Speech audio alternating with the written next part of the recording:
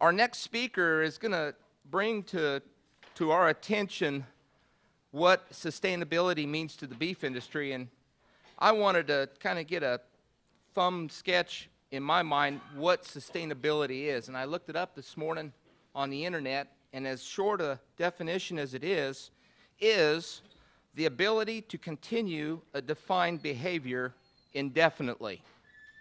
And I think if we take that in co into context with social aspects, environment, and economic, I think our next speaker, Mr. Bob Langert, is going to address this topic. Uh, Bob is a native of Illinois and has been gainfully employed with McDonald's Corporation for several years in various capacities. And so, Bob, I'd like to invite you to the podium to share with us your your thoughts on sustainability and what it means to the beef industry.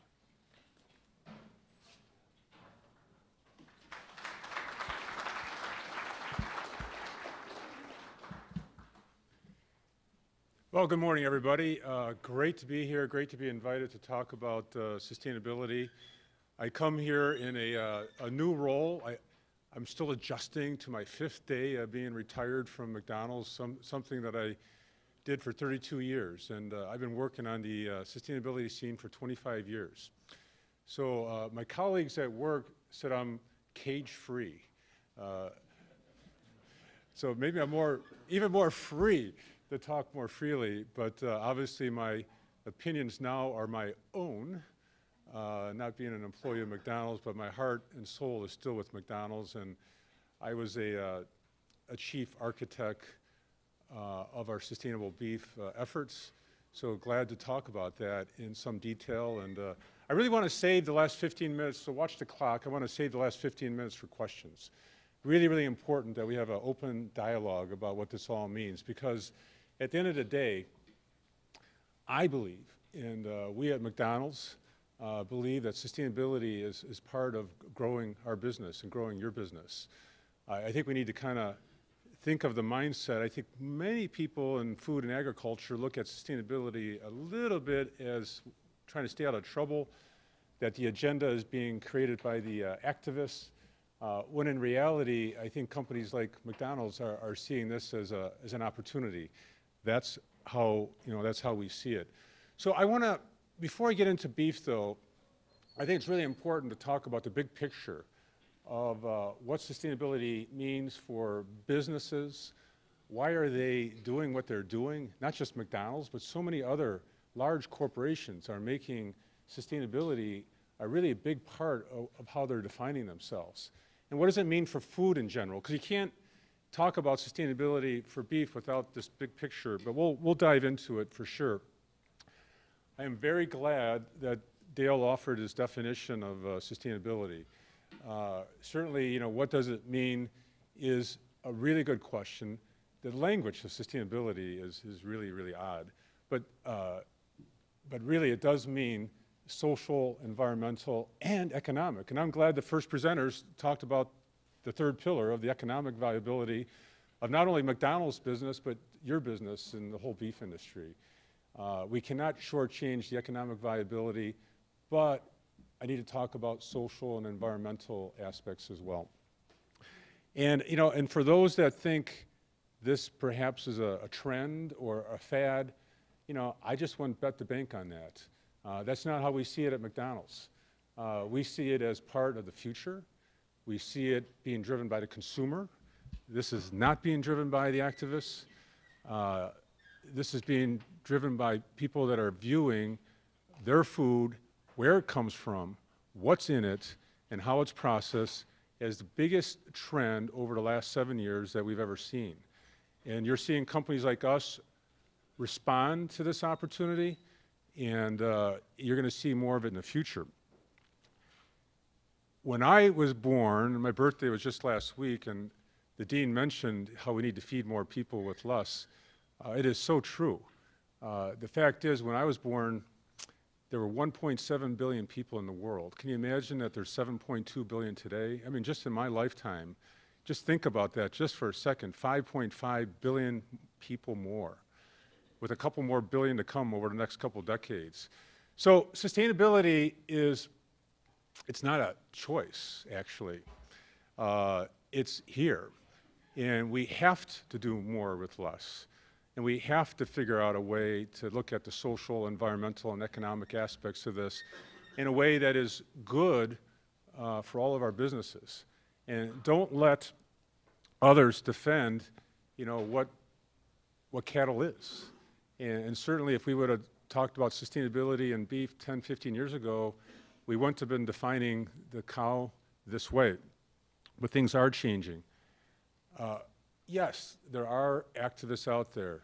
Michael Pollan, I just saw this video. If you want to get a video that kind of kind of makes you want to throw up, uh, look at this video from Michael Pollan, New York Times, and he talks about using the quarter pounder with cheese from McDonald's. Talks about how 26 ounces.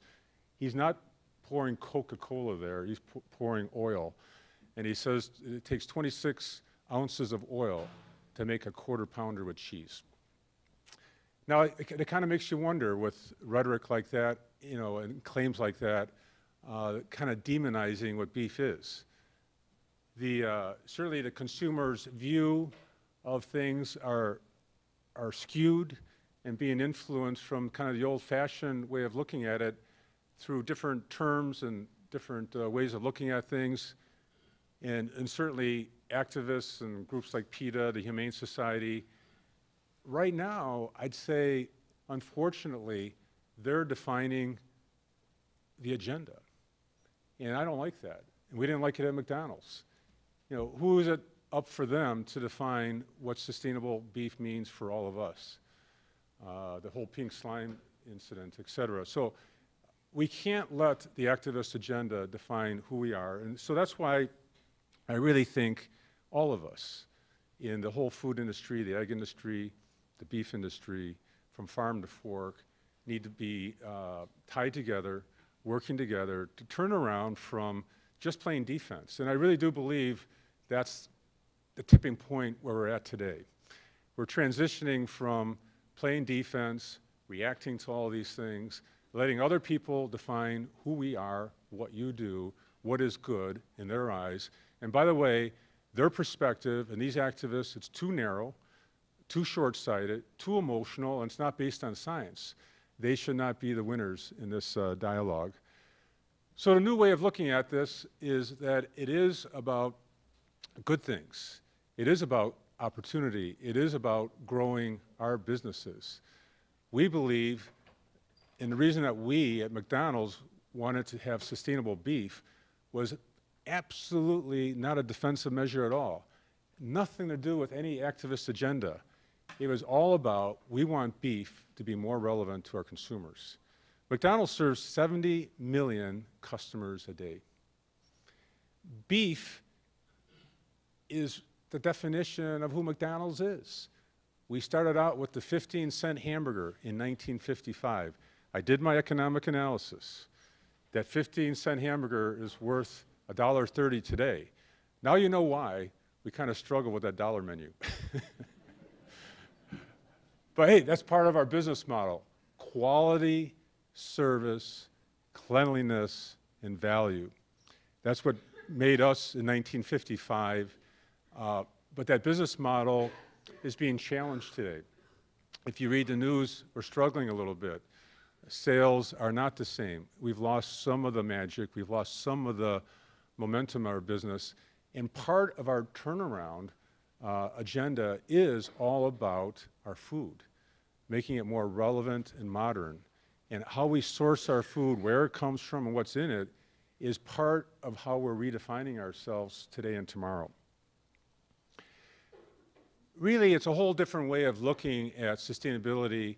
I think looking at it from this shared value perspective is the new way of defining sustainability.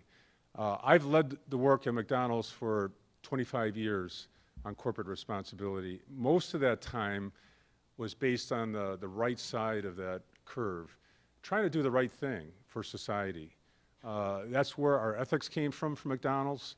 We were always dedicated to doing the right thing, giving back to the community. It, it didn't have a, uh, a business, you know, motivation.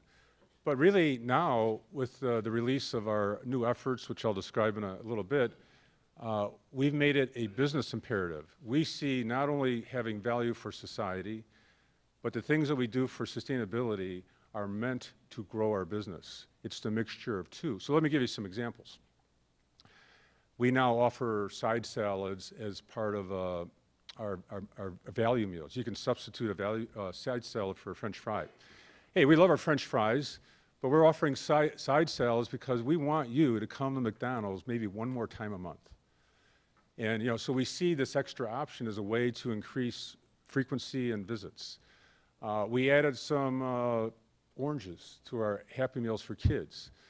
Uh, we're not doing that just because we want to offer more fruits and vegetables for children, but certainly, I mean, that's certainly part of it. But we're offering it because we want to increase our Happy Meal sales with families be more relevant for moms and their children and so on. The same with beef. You know, we didn't create sustainable beef uh, out of a whim. Uh, we said to ourselves, beef is part of who we are, it's our brand. Uh, McDonald's right now, we have five brands that sell beef for over a billion dollars a year. Uh, we want to sell more beef into the future. Right now, the average uh, American, for example, does not believe we serve 100% beef, even though we do. The majority of the people think we put other stuff in there. We don't have the quality image that we need to have for our beef and our food, and we're out to uh, go after it big time to, to turn around our business.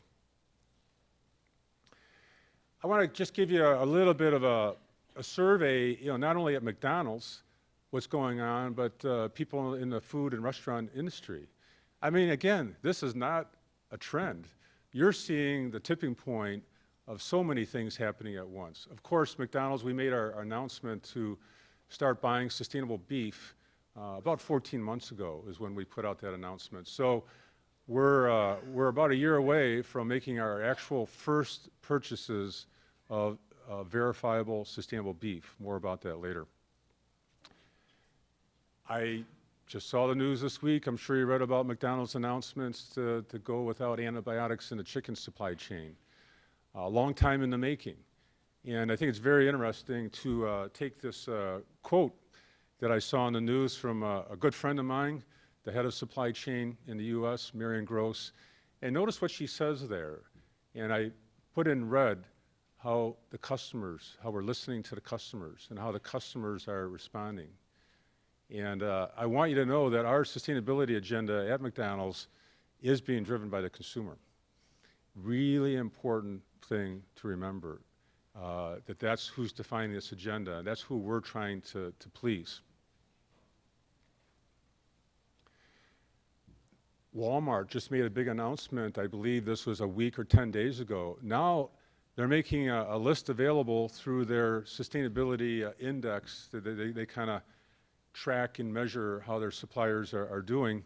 You're probably aware of that. But now they're posting this on their website and they're making it available to uh, all their customers. And they're naming names and they're putting the, the winners out there as to who has sustainable products. And I checked it a couple days ago. I didn't see uh, anything in the, the meat area yet, but it's coming. It's coming. You know, you can bank on the fact that months or maybe a year down the road, Walmart's going to have what sustainable beef is for their customers, just like McDonald's is approaching it. You know, Chipotle has had their uh, Food with Integrity program for over 10 years. And you may uh, debate their uh, simple depiction of how they look at agriculture, because I certainly debate it. But the fact is, they're enormously successful.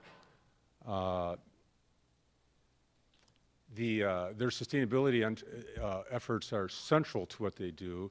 And it's amazing, about a month ago, they, they ran out of sustainable pork in their restaurants, and so they had to put a note out in their, in their restaurants that we couldn't serve sustainable pork anymore. And they got kudos and credit for so many people because they're just they're trying to do that. And Wall Street right now is in love with Chipotle, and they're growing significantly.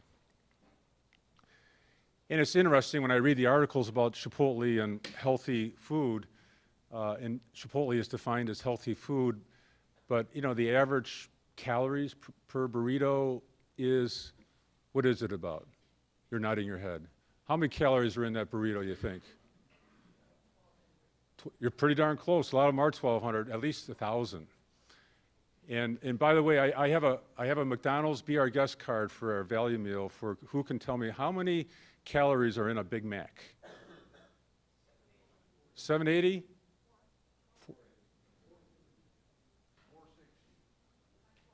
Oh, who said 520? All right, come and get a coupon afterwards. 500. I got one right here in my pocket. 550 calories. Add in a, a small fry and a, a drink. I think you're still going to beat Chipotle. So, you know, what my point is health and sustainability, they're getting intermixed, aren't they? And the definition of what is healthy, it's interesting. It's getting intermixed.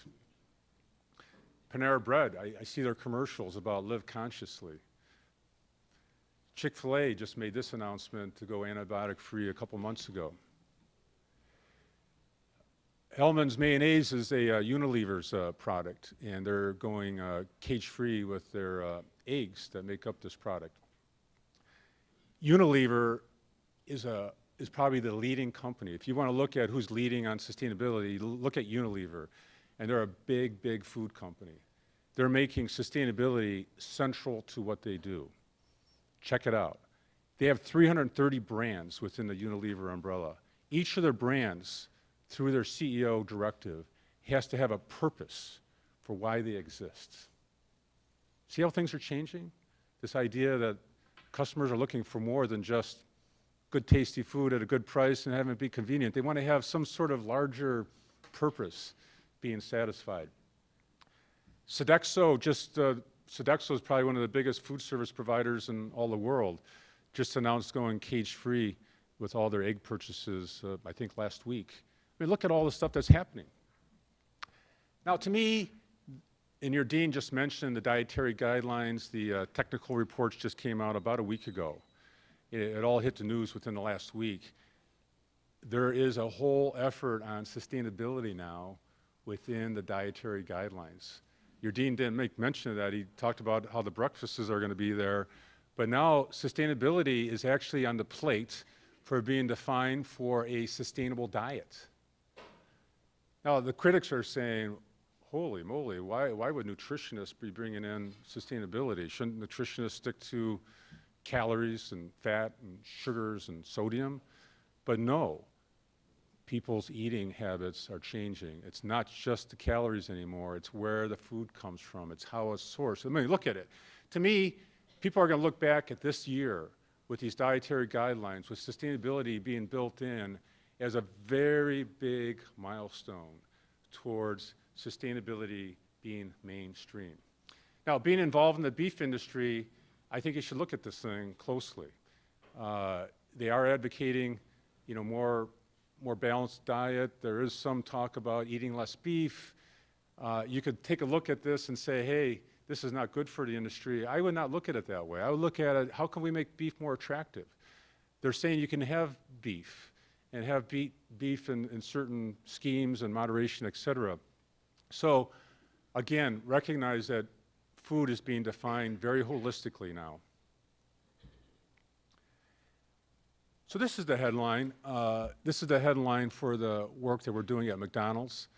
I believe it's the headline for people that are invo- involved with food service. People want to feel good about the food they're eating. And how do they find, how do they define feeling good?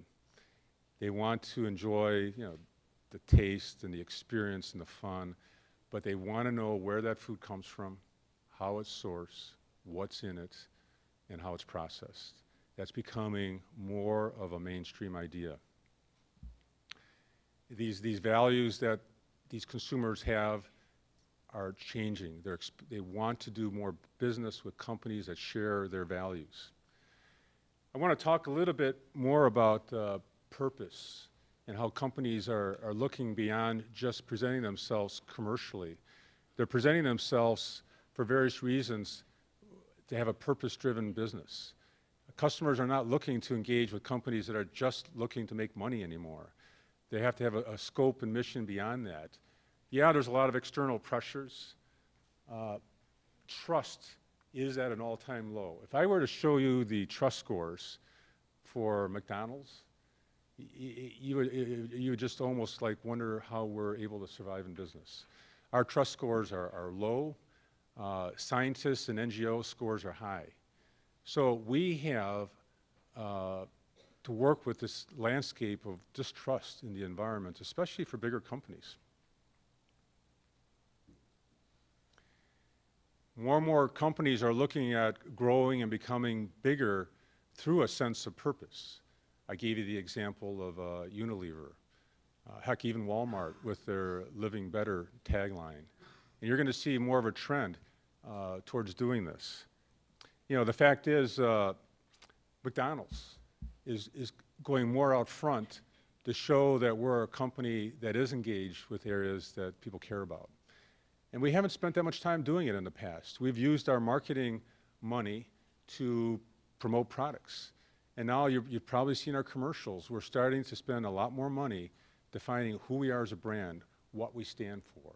I'm loving it now is giving back to the community, uh, paying back people through loving works of kindness, the, the road sign commercial. You're seeing us at McDonald's uh, put out there who we really feel we are. I didn't work at McDonald's for 32 years uh, just, just for a job. I believe it's a great company with great people, with great ethics, and we need to have more people see that in our company.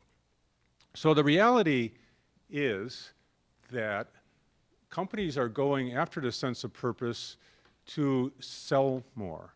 Uh, so sell more, uh, we're using this term aspirational, so you can check GlobeScan. GlobeScan does a lot of research. This is who I borrowed this from. Aspirationals are a big, significant part of the population. And let me define it for you. They're not just millennials. They're, they're people that are very engaged with being materialistic. They like to spend money, but they want to spend money through products and services that they can connect with, that have a larger purpose. And roughly speaking, there's, there's uh, everywhere in the world, you know, to the tune of 30, 40% of the population.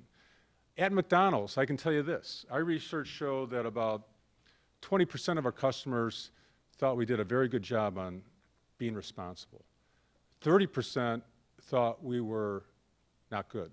That's not a good number. But 50% were in this in-between zone. And it's that 50% that want to spend money, that want to engage with companies like us that we're trying to sell more to. Well, let me dig deeper uh, a little bit now to uh, the McDonald's effort and where beef fits into our, our new sustainability framework. We just announced a big plan with goals and targets that define who we are at McDonald's. You can't read all this, uh, I'm sure, but this is our roadmap for the future. This is our sustainability vision for 2020. It has five pillars of food sourcing, people, community, and the planet. It has eight goals. It says we're going to double fruits and vegetables to consumers. We're going to reduce energy by 20%. We're going to increase recycling by 50%. Probably the area that you're most interested in is under the sourcing pillar. We say that we're going to, our vision is we're going to source all of our food and packaging from verifiable, sustainable sources. That is a humongous statement that McDonald's is saying. And remember, we're mainstream. We have 35,000 restaurants around the world in 119 countries. We employ 1.8 million people, serving 70 million people. So when McDonald's makes this statement, this is not some little mom and pop place. This is mainstream business saying this is the way of the future. Our specific goals for 2020 is to uh, buy 100% sustainable coffee, fish, uh, all of our packaging coming from uh, sustainable fiber, and 100% palm oil. And I mentioned our goal to start purchasing sustainable beef by 2016. I think it's really important that you take a look at how we at McDonald's define our vision of what a sustainable supply chain is. And as you read through this, I want you to kind of look at how uh, holistic the definition is, because it is holistic. It is providing quality, safety, affordability, you know, uh, but it's also talking about these three E's. So really, these three E's of ethics, the environment, and economics, they drive our decision-making uh, within the McDonald's supply chain. And this last phrase of doing things that would benefit the world at large is also a big statement for us, because we realize now that we are a leader, and a leader needs to lead with bolder statements to help to move markets and, and transform. And we know we can't do it alone, uh, but that's what we're out to do. So as evidence of that, uh, we now, we probably at McDonald's, we probably serve the most sustainable products to people in the uh, restaurant business. So I'm not sure if you knew, but all of our fish is verifiable uh, Marine Stewardship Council fish sandwiches. So for you that are celebrating Lent, uh, today's Friday. I have some uh, value meals. You can go buy some fish uh, later on. Most people don't realize we're selling sustainable fish. We're also selling sustainable coffee. All of our espresso-based coffee is Rainforest Alliance certified. Again, yeah, this is big stuff, the tip of the iceberg, you know, with more to come in the future. And I, I put this uh, bus sign up here because in Chicago, where I live, uh, all over Chicago now, we have billboards and signs talking about sustainable fish at a sustainable price. And to me, this is very symbolic of the future. That now we're reaching the consumer. I've always said the sustainability movement is not sustainable until the consumer is involved. And now you see us getting the consumer involved.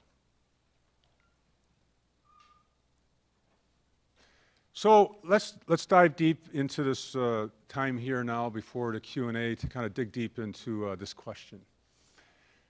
So, you know, uh, when we announced getting sustainable beef, uh, particularly the Australians were pretty skeptical of some of the things we're doing. I, I remember reading a rancher saying, hey, there's nobody here in Australia that's demanding a sustainable Big Mac. So when I read that article, I, I said to myself, that person is exactly right.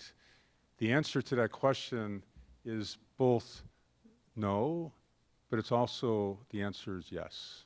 So let me explain. My, my best way of explaining it would be do you think people were asking 15 years ago for uh, some sort of little device that they could connect with the world and get anything at any time, anytime they want? I, I don't know that they were like asking for that 15 years ago. Uh, but boy, did that product serve a need. Uh, we can't live without it. I, I've gone on trips into the depths of the Amazon where people live on a dollar a day, but they have their cell phone. It's just, it's just amazing. Uh, I always consider it to be a luxury. Uh, so I think people are looking for a sustainable Big Mac without asking for it. It goes back to people want their food to feel good about it. And it's, it's for companies like us to make them feel good about the beef they serve. So, you know, we have a shared commitment on this because uh, we at McDonald's can not do this alone. Uh, we buy beef from you. And thanks to you, you know, we have a, a wonderful business and we value the whole supply chain very much. Uh, but the fact is, uh, yeah, we only buy a certain percentage of beef. Does anybody here want to get a coupon to buy a meal at McDonald's and tell me how much beef do we buy in the marketplace? What percentage of the beef globally and in the United States? You can come within 5%, you get a coupon. Nope. Down? Who said five? Collect your coupon. We buy uh, less than 2%. And uh, I'll speak to audiences with McDonald's. I, I had all the lawyers in the room a few weeks ago, and I asked, they were telling me we buy 50%, 75% of the beef. No, hey, 2%, hey, 2% is big. Uh, you know, I think Walmart buys approximately about the, the same thing. So I'm not trying to say we're too small, but the fact is, this is a collaborative effort. Uh, we, we can't, we don't raise animals, nor do we know anything about it. Uh, you know, we think we're good at running restaurants and pleasing consumers, and we need to work in collaboration with the, the experts to, to, to define what this is and make it happen. Hence, why we very much were a catalyst behind the Global Roundtable for Sustainable Beef. So to me, this is a, a major deal. We put a lot of our, our chips into our strategy with the idea of forming a roundtable with up to now, I believe there's 60, 70, 80 members of this roundtable from all parts of the supply chain, all the way from uh, the ranchers and producers, you know, to retailers and NGOs. So we believe that a multi-stakeholder group uh, is the best way to define what sustainability means. So this group was formed uh, a few years ago and has, has accomplished uh, quite a bit. Uh, quite a bit, and you can see the, uh, the scope and mission of the Global Roundtable for Sustainable Beef was to define a way to uh, uh, get, get acceptance all the way through of what this meant, lead by science, define it by continuous improvement, have this be offense and not defense to the critics.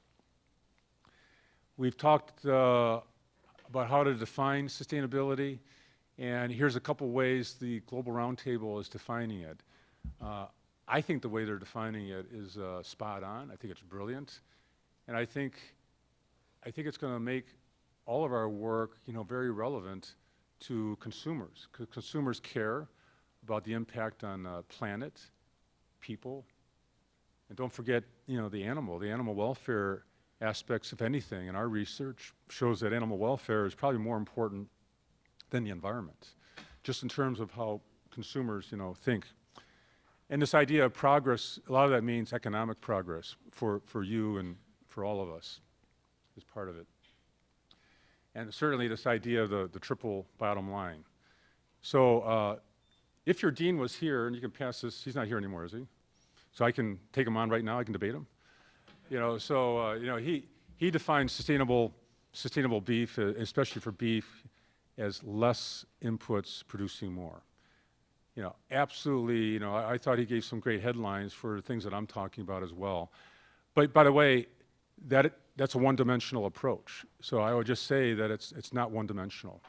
It's not only about less inputs and producing more, it's doing so with the social aspects in mind, social being the, the, the, community, the community, animal treatment issues, which are complex. They're very complex.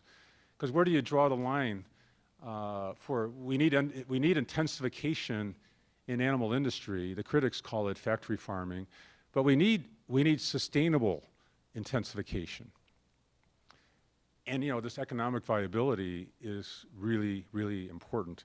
So many people, uh, you know, I've been out, out, talking to many people in the beef industry over the last year and a half, and many people in the beef industry say, well, we are sustainable. You know, I mean, I, am I'm, I'm proud of our, our land. We, we pass our business on for generations to, you know, past generations to come. And the issue is, we no longer, though, can say, we just can't use rhetoric anymore. We just can't say we're sustainable. We have to actually measure it and prove it and have more credibility towards it. So I mentioned that uh, there are many stakeholders involved with the uh, Global Roundtable for Sustainable Beef. You can see some big names, uh, you know, Walmart, uh, McDonald's, uh, suppliers like JBS, Cargill. You'll see uh, some NGO partners like the World Wildlife Fund. A really good array, and, and more are joining every day. I really commend this group for the work it's done over the uh, last couple years. They've been learning through all types of initiatives going on in the world. So uh, just to kind of get out of your American viewpoint, you know, the, the fact is that the sustainable beef area is really accelerating around the world. So I think, you know, if the, if the U.S. beef industry is going to be a leader, which I'm convinced you will and we will, uh, the fact is uh, Ireland thinks they're going to have the best sustainable beef program in the world. You know, Brazil has got efforts going on to define sustainable beef. Uh, Canada uh, and McDonald's, uh, we, we think that maybe our first purchases for sustainable beef will be north of the border in Canada. The Australians are pursuing some things as well. So this is a global phenomenon and a global effort. And, uh, you know, I, I think to win in the marketplace is going to take uh, mastery of many elements, including the sustainability agenda. The Global Roundtable uh, obviously has worked setting up five global principles and 42 criteria that define that. And the, the criteria and principles all have to do with uh, people, community, social, environment, animal welfare, and economics. Uh, you can look it up online. It's not meant to be prescriptive. It's not meant to be uh, uh, throw it down your throat, here's what you have to do type of approach. Uh, it's very much a uh, global framework that we know has to be adapted to local conditions. So this is not a mandate from high. Uh, this is a collaborative effort where now we are looking for ways to come up with uh, ways to have indicators at a local level.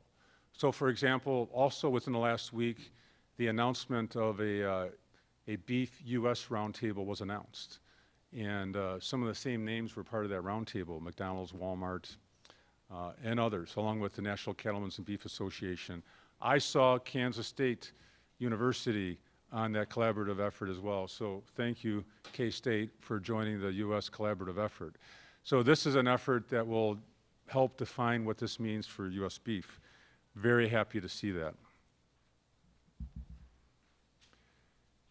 So the work of the roundtable uh, has just come to a, a, milestone finish with the uh, publication of the definitions, and now it's going out to the, the regions to figure out how to implement.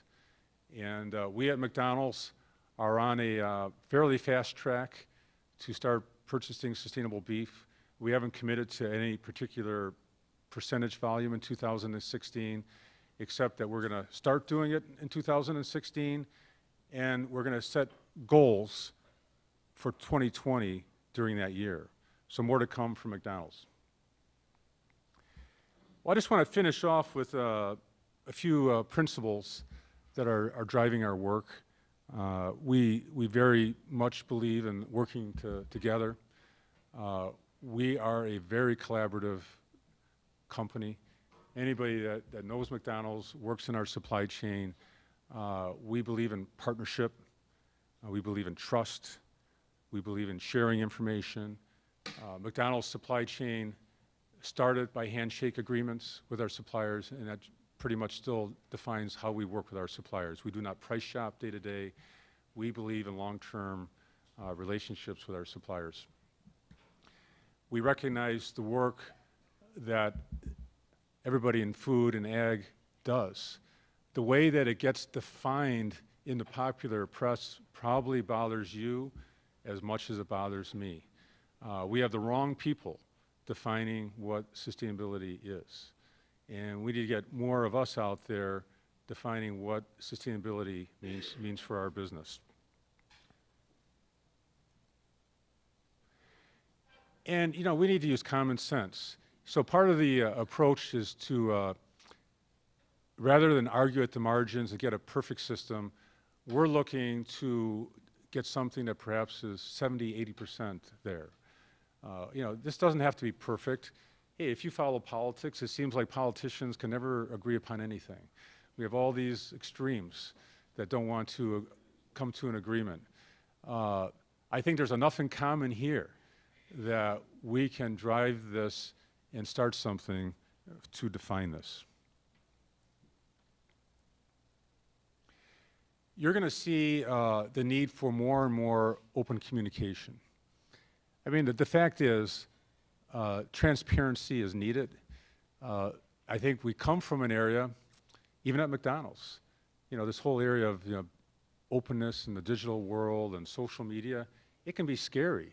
But I would say rather than have it be scary, the fact is, this, we're only at the tip of the iceberg for how open and transparent the world is going to be. So at McDonald's, we chose rather than to ignore it, we said, hey, we're going to jump in.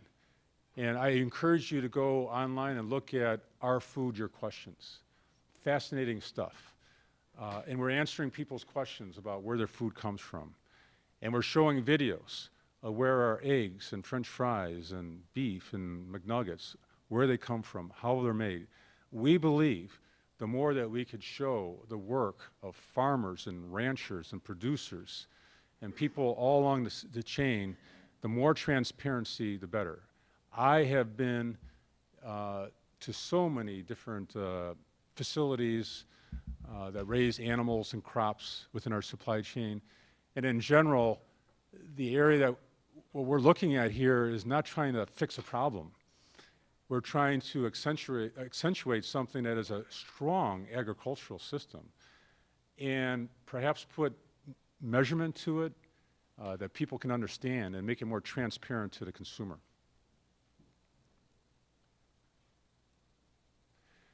So that ends my uh, talk, and I'd like to open it up for questions and see what uh, I stirred in your mind about what this uh, means for what you're doing. I can answer questions about McDonald's and all the other efforts that we had. Yes, sir.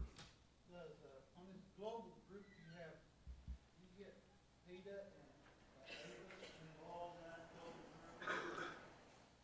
The, uh, the global group uh, accepts members that are interested in uh, solutions that are science-based. So uh, that would eliminate PETA.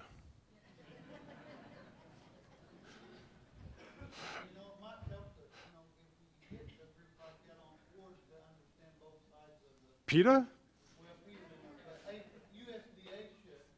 I have, I have to check, uh, I, I can't answer about USDA. I mean, they're, obviously USDA is a, a rational scientific body. I'm not sure if they're involved or not. You know, the, uh, if you look back to the NGOs that are involved with the Global Roundtable, uh, they're good groups, good groups that are really looking at science. You know, many of these NGOs, like the World Wildlife Fund, I, I think they're really, really good. And they're, you know, we need a third party to, uh, customers are not going to believe McDonald's. Maybe they don't believe you, but we need to work with third parties like the World Wildlife Fund, like the Nature Conservancy, and groups that are based on uh, science as they are. Uh, you know, most of these NGOs are, are well-intended, and uh, the ones that have a different agenda, you know, to me, they should be, uh, they should be, uh, they should be the fringe. Uh, unfortunately, right now, I believe the squeaky wheel is getting the, getting too much attention, and we need to change that. The sooner, the better. Why would you uh, rate Canadian as more sustainable? Because you opt to buy them when you would think that they've got the same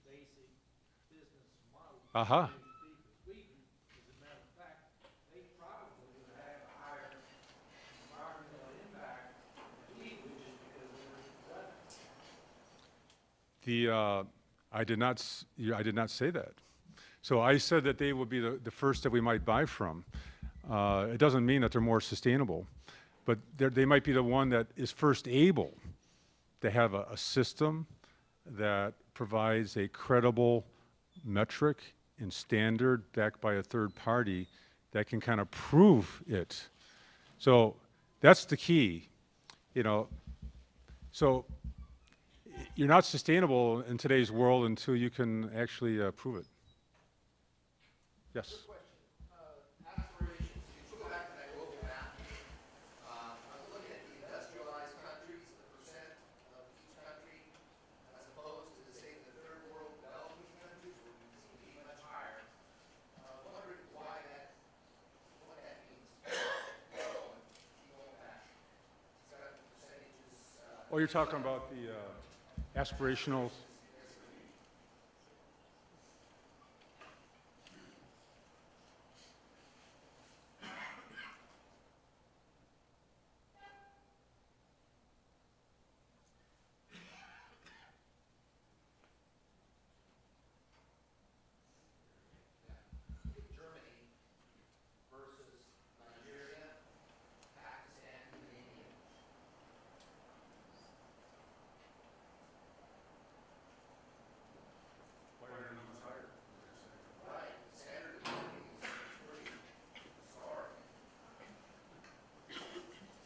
Well, I don't, I don't have a good answer for you. You know, I could uh, try to follow up with. I, I would say my intuition is that the European countries are really, really tough critics. I mean, they're, as you know, Europe has sustainability built into how they think for a long time. They, they think they own sustainability in Europe. Uh, and, and so I, I think they're much more critical and that's why, uh, that's how I would view their scores, why Europe is lower. And I, I think the subject is very, very new to uh, parts of uh, Asia. And I, so I think both new and the opportunity being new, plus there's a lot of uh, empowerment with a new middle class opening up in Asia that's going to have more money to spend. And I, these, these values-based decisions are going to be part of how they think. Yes, sir. I would think the, uh, the conversations that you have around, around the table in regards to progress, when you look at it in terms of the future of science and technology and, and the developments that are, are occurring there, with two billion more people in the next thirty years and, and all of that, uh, how are you going to grapple with genetically modified, modified organisms? How are you going to grapple with whatever the future of that science is and, and, and technology that says we've got to move in those directions in order to feed the world, but yet at the same time, we've got these mega retailers that are, are giving us direction that isn't allowing us to adopt that I. I, I love your question. I think it's the, the it's like a key question of our times. Uh, I'm with you. I, I don't understand. First of all, I don't understand why there's so many critics of uh, technology being used for food that can enhance people's lives.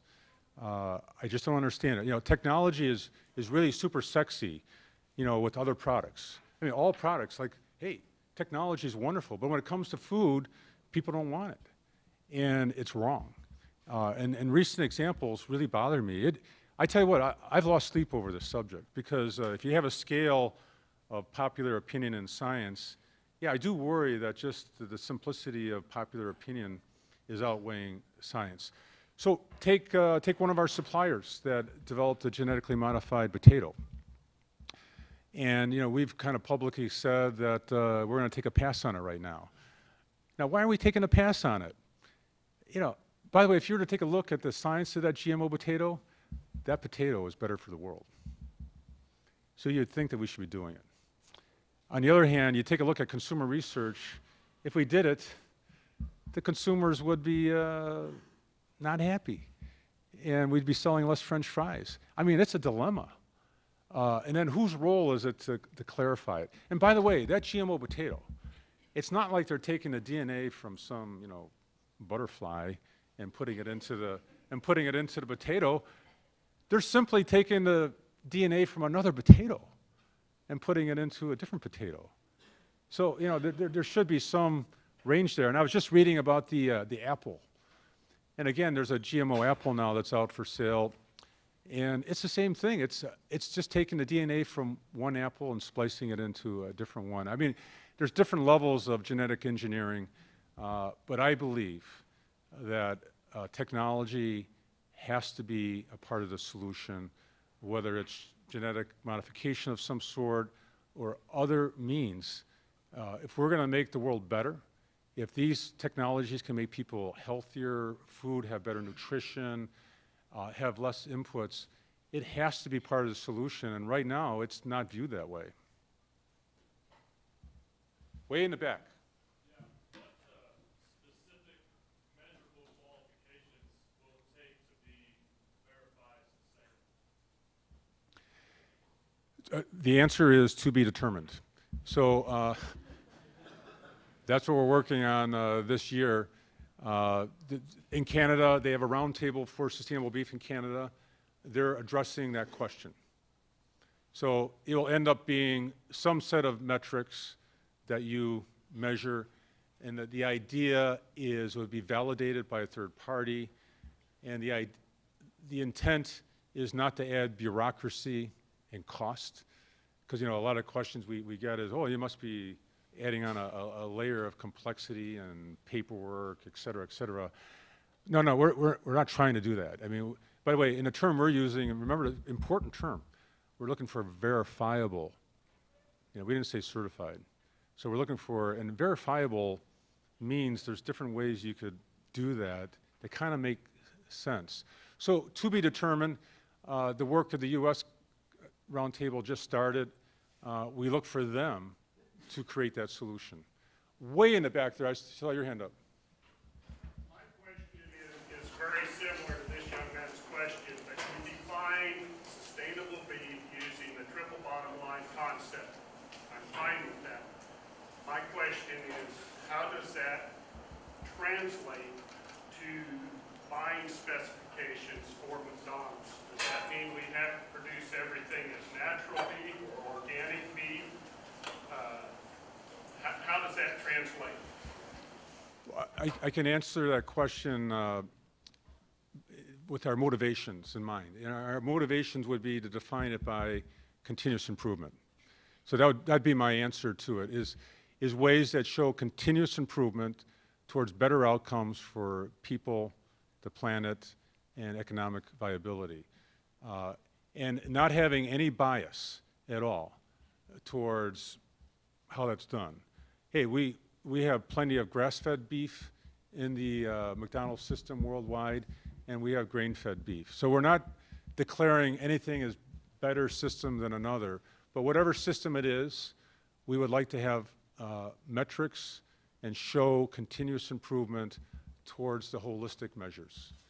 And, uh, and to me, that's a pretty good definition of sustainability, is just doing better tomorrow than you are today related to people, planet, and profit.